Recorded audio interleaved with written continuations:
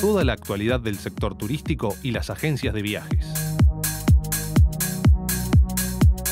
Soy Noelia, la jefa de prensa de Amazonas Uruguay. Lo que estamos estrenando es uno de los tres vuelos semanales que tiene la aerolínea Amazonas.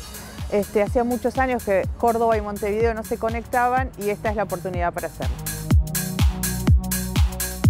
Podemos hablar de turismo de sol y playa fundamentalmente en Punta del Este y en Rocha y Montevideo como la capital nacional en donde se puede ofrecer el turismo de sol y playa porque Montevideo tiene una gran cantidad de playas, el turismo de compras, el turismo de negocios, el turismo de eventos y convenciones.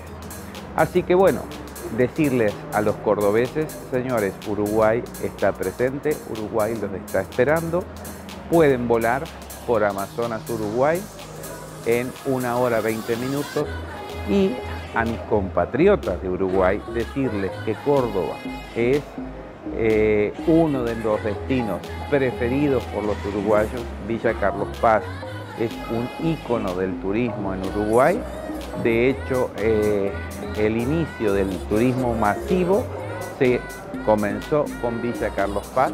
Y el turismo es, como bien dice nuestra ministra, un, un ida y vuelta. O sea, los cordobeses los invitamos a que visiten Uruguay, que los uruguayos puedan visitar la provincia de Córdoba con todas sus bellezas. Así que a través de Amazonas Uruguay los esperamos por acá y utilicen nuestra aerolínea.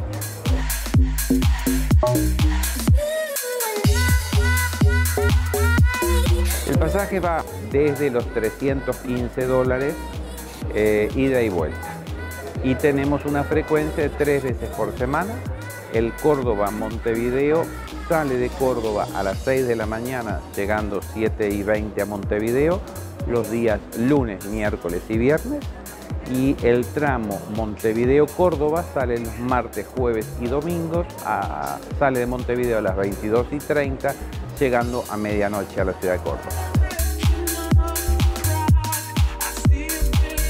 Amigos de Córdoba, reiterarles que existe una aerolínea que se llama Amazonas Uruguay y que ya desde el mes pasado está uniendo Córdoba, Montevideo en una hora 20 minutos. Así que los esperamos a bordo.